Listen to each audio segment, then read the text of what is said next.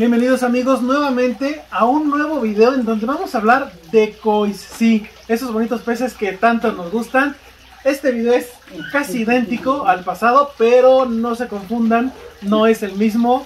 Estamos hablando de otros peces, estamos hablando de otro momento. Y nada más, chécate, acércate, vean lo que tenemos en este topper. Dos hermosas kois. ¿Cómo las ven?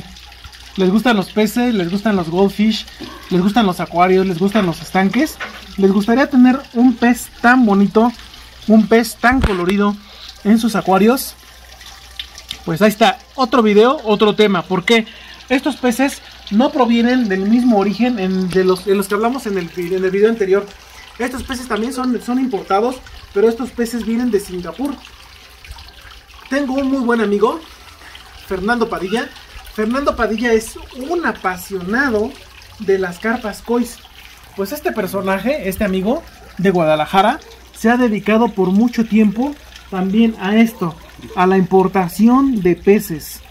Estos peces no son certificados. Nosotros en el video anterior les mostrábamos los peces que habíamos recogido, los recogimos ahí con un amigo. Estos peces fuimos a recogerlos a la central, allá a la central del norte. Eh, muy preocupados de que ellos hubieran llegado bien. Ya estando aquí en nuestras manos y estando justo aquí al lado del estanque, estamos bastante emocionados porque estos van a formar parte de la bonita colección y del conjunto que prácticamente ya es una familia de los peces kois que tenemos en este momento. Antes de platicarles un poquito más de ellos, quiero que mi papá, que no les quita la vista de, encima, nos dé su punto de vista. ¿Tú qué opinas? ¿Qué, qué, qué, piensas de esos peces, papá? Hermosos. Hermosos, sí. ¿Cómo ves? ¿Tú les ves cara como de mexicanos o como de no mexicanos, hijos de importados? Ya lo dije, pero tú los ves a primera vista. ¿Tú qué creerías de ese pez? Porque son de una muy buena calidad. Sí, ¿verdad? Sí, cómo no. Sí, miren, en gusto se rompen géneros. Ya hablábamos de, de, opciones. Por ejemplo, en el pitón reticulado hay criadores, ¿no? Uno dice, oye, a ver, ya me metí a la página de New England Reptile, ya me metí a la de sí, ¿no? Nerd, este, Bob Clark, ya me metí a Prehistory Pets, ya me metí a los de, este, no sé, este Shane, ya me metí a ciertos creadores y ahí es donde uno va, va decidiendo por gusto propio quién tiene los mejores ejemplares en cuestión. En este caso estamos hablando pues de cois. Estas cois, ya lo dije, vienen de Fernando Padilla. Fernando Padilla eh, es un personaje en toda la extensión de la palabra apasionado de las, de las cois. También les voy a dejar aquí sus redes. Mundo Singapur, si ustedes buscan en Facebook Mundo Singapur, yo sé que él anda también en otros temas con otros peces. Sabe de, sí, de, de, goldfish sobre todo, sabe de koi, pero sabe también de cíclidos. Incluso creo que él tiene un, acuario allá, en, allá en, Guadalajara, si no mal recuerdo. Eh, y bueno, pues el día de hoy, él ya me ha mandado peces, hemos comprado peces anteriormente con él, peces importados, pero en esta ocasión nos toca recibir este bonito, bonito par de peces. Esta es una Matsuba Doitsu. Nosotros tuvimos una Matsuba Doitsu muy parecida y casi idéntica. Nosotros nos enamoramos de esa koi. De eso esa koi fue seleccionada por Nancy. Y Nancy dijo necesitamos otra. Ustedes supieron lo que pasó en el estanque. Se compraron otros peces con otro importador. Probablemente venían enfermos, no se los puedo jurar. Pero creemos que pudiera haber sido así. Entonces, desafortunadamente, nuestra Matsuba Doitsu ahí se pierde. Pero el día de hoy llega esta Matsuba Doitsu con esta otra también parece Matsuba. Un pez sin escamas, un pez metálico, un pez con una hilera doble en toda la columna dorsal de escamas que la hacen lucir contrastada, que la hace lucir estéticamente simétrica y que tiene unos colores súper encendidos. Estos peces pues vienen de Tailandia. Eh, la koi, por ejemplo, los, los, gringos en Estados Unidos nos llevan mucho por delante la selección, en la reproducción de peces koi. Eh, hay, hay varias ya granjas, ya granjas como tal, que ya están reproduciendo peces que originalmente llegaron de Japón, pero están haciendo muy buenos trabajos, no solamente en Estados Unidos, yo creo que aquí en, en, México llegará el momento en el que estos peces pueden llegar a tener una selección. También este, nuestro amigo, también en el primer video que hablábamos de las selecciones de peces nacionales, también nos decía que ojalá y él, y él, y él creía que en algún momento estos peces nacionales pudieran llegar a tener esta calidad. Pero creo que hasta el día de hoy no hemos logrado esto. Habrá peces que sí, ¿eh? que entre muchos peces sale un pez con estas características. ¿Qué opinan ustedes? Fernando Padilla, ¿Sería una buena opción para comprarle a él? Yo creo que sí. Los peces que nos han mandado él nos los manda muy, muy seguros. Creo que los peces que él maneja no son excesivamente caros. He visto que él también maneja certificados. Pero he visto peces de una calidad extraordinaria y con unos precios bastante, bastante elevados. Pero creo que valen cada centavo. Aprovecho, saludos amigo Fernando Padilla. Vamos a, vamos a mostrarte cómo estos peces se integran a nuestro nuevo estanque. Vamos a hacer una coma de cerca para que ustedes vean por qué este pez pudiera ser una buena elección para sus estanques. Estos peces miden aproximadamente 18 a 19 centímetros, más o menos calculen. Pero este es un pez que va a llegar aproximadamente las matsubas. em, son peces grandes, ¿eh? es, una, es una variedad de kois que más o menos pueden llegar a los 50 centímetros. O sea que imagínense este pez de 50 centímetros en su estanque con el sol directo y ustedes relajados echándose una chela, echándose ahí, no sé, a lo mejor un helado, si fuman su cigarrito o simplemente con la novia una revista o revisando el face y que nada más con un voltear de ojos se vean este pez de este tamaño pidiéndoles de comer. Díganme si no sería un, este, una buena idea. Seguro que sí, ¿verdad? Pues bueno, vamos a, meterlas al estanque para que se integren. Eh, estoy trabajando aún en mi estanque, por lo tanto decidí y creo que la mejor opción en este momento va a ser que se integren al estanque de mi papá y en algún momento pues vamos a llevarnos algunas. La Showa que fue importada de, en el video anterior, esa definitivamente se va a quedar ya aquí en el estanque de mi papá. Pero pues vamos a, vamos a integrar estas nuevas bebés aquí al estanque.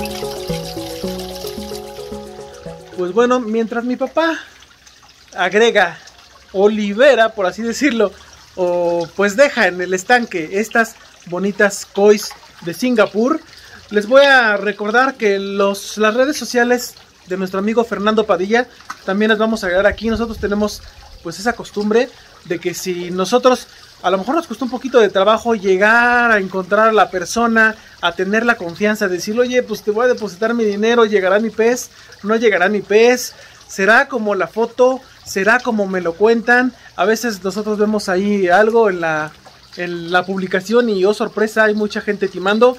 Yo les puedo decir que Fernando Padilla les va a cumplir, les va a hacer llegar las cois, no a la puerta de su casa, quizás sí, dependiendo en dónde estén ustedes, probablemente una paquetería, pero ustedes van a llegar con una cajita, van a llegar a su estanque y van a poder agregar sus bonitas cois a un estanque. Entonces les dejo sus redes sociales de Fernando Padilla, su página como aparece en Facebook es Mundo Singapur. Mundo Singapur creo que es una muy buena opción, les puede también traer peces.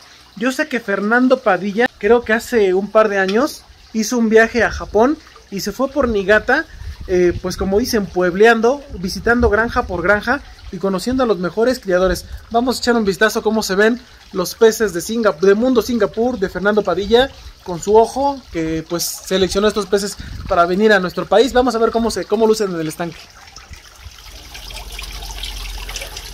Pues ahí está, mire. Son peces con colores metálicos. Creo que sí resaltan.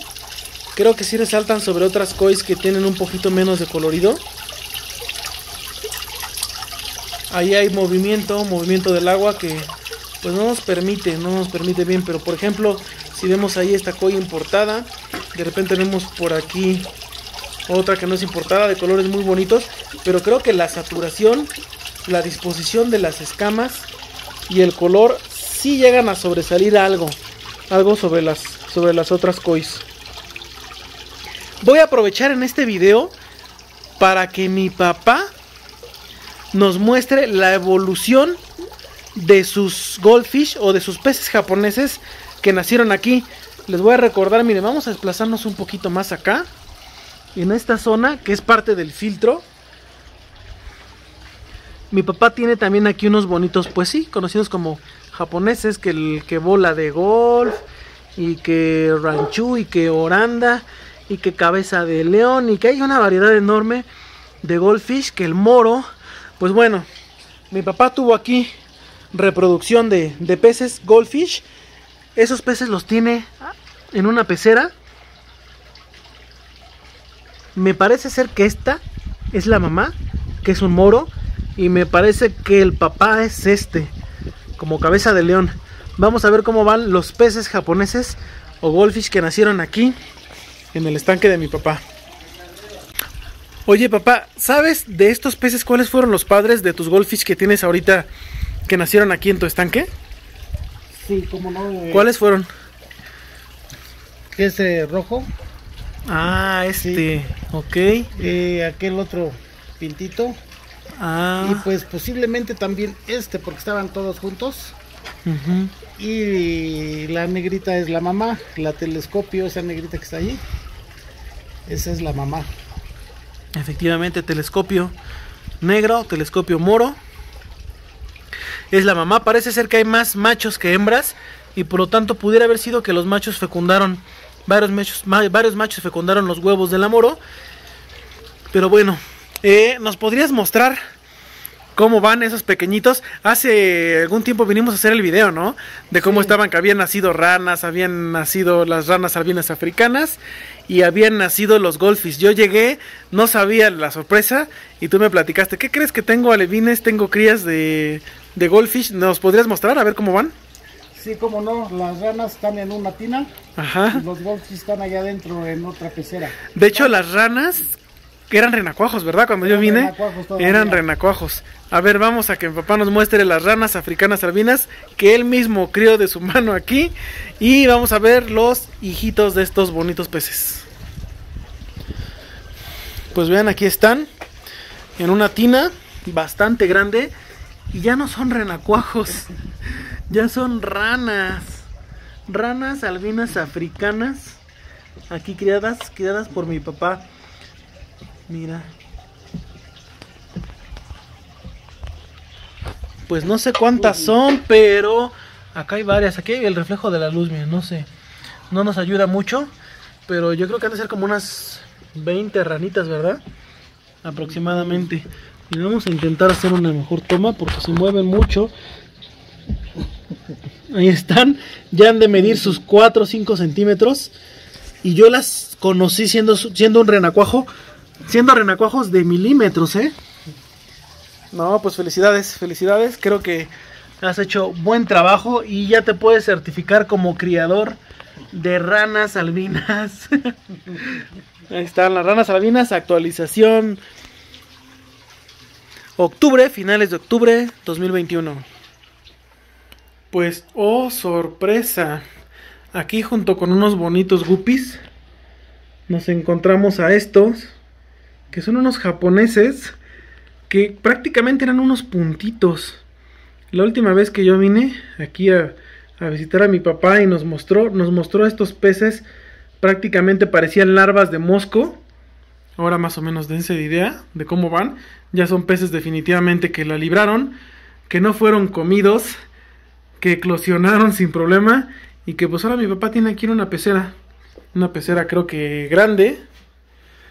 ¿Qué nos platicas, pa, de la experiencia este, reproduciendo esta especie de el pez japonés?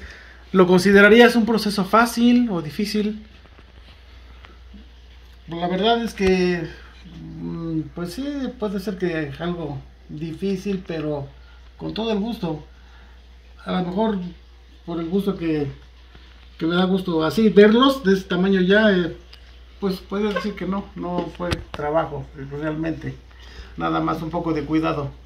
Algo de cuidado, pero yo he notado que muy poca gente ha llegado a reproducir esta especie tomando en cuenta que es una especie tan popular que la encontramos en, en muchos hogares, en muchas casas, en muchos acuarios. Siempre el goldfish no puede faltar en los acuarios. Y pues vean, mi papá logró reproducir la especie. Este pues se va a poner en un telescopio moro. Ya están más grande que los que aquí que los Mickey Mouse y que los que los Mollys, que los Guppies. pues ahí están. Yo les dije que íbamos a hacer una actualización de cómo iban los bonitos goldfish que nacieron aquí con papá. Y pues aquí está, miren la actualización. Seguramente en un próximo video mi papá nos puede dar la sorpresa de que ya están del tamaño de una naranja o algo parecido. Pues ahí está, espero que les hayan gustado los peces amigos, que les hayan gustado las cois. Si no se han animado por un bonito estanque, por unas cois, anímense. Ya les he dado opciones, ya les he hablado de algunas personas que importan, ya les he hablado de algunos lugares donde los crían, de algunos mercados donde se pueden, donde se pueden conseguir, de peces tanto importados, algunos de Tailandia, algunos de China, algunos de Japón, algunos de Singapur. Ustedes tomen su mejor decisión, decidan qué es lo que quieren en sus estanques. Si ya tienen ahí su estanque, simplemente cuídenlos, ámenlos, disfrútenlos.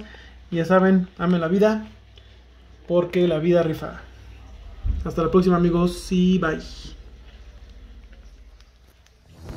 Y ya sabes amigo, like, suscríbete y comparte. No olvides seguirnos en nuestras redes, Instagram, Doctor.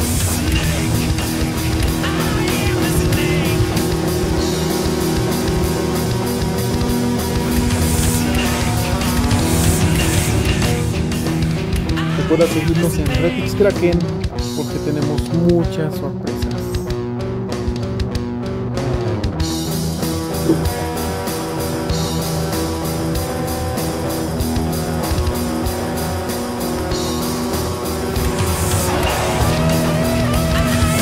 Sabes, amen la vida porque la vida risa.